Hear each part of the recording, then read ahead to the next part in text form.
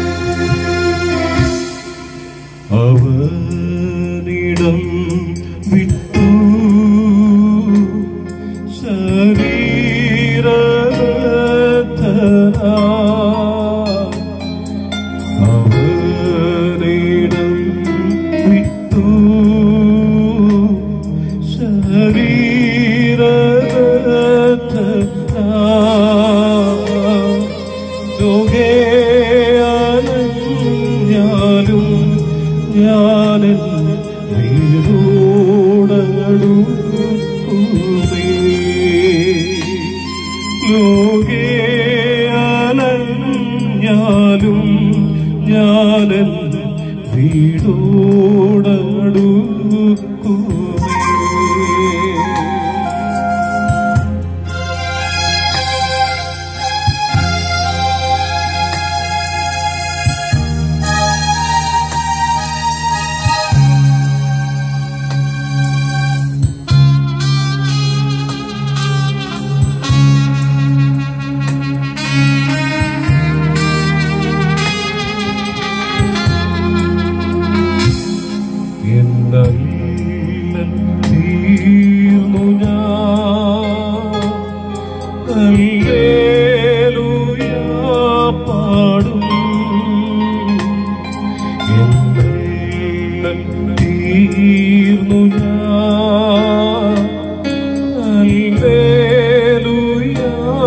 പാടും.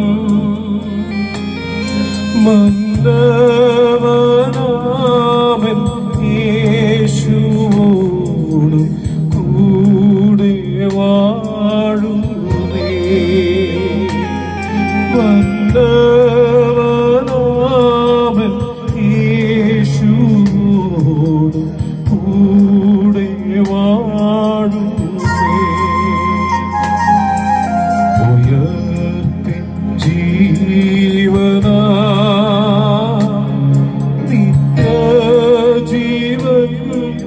செய்கும்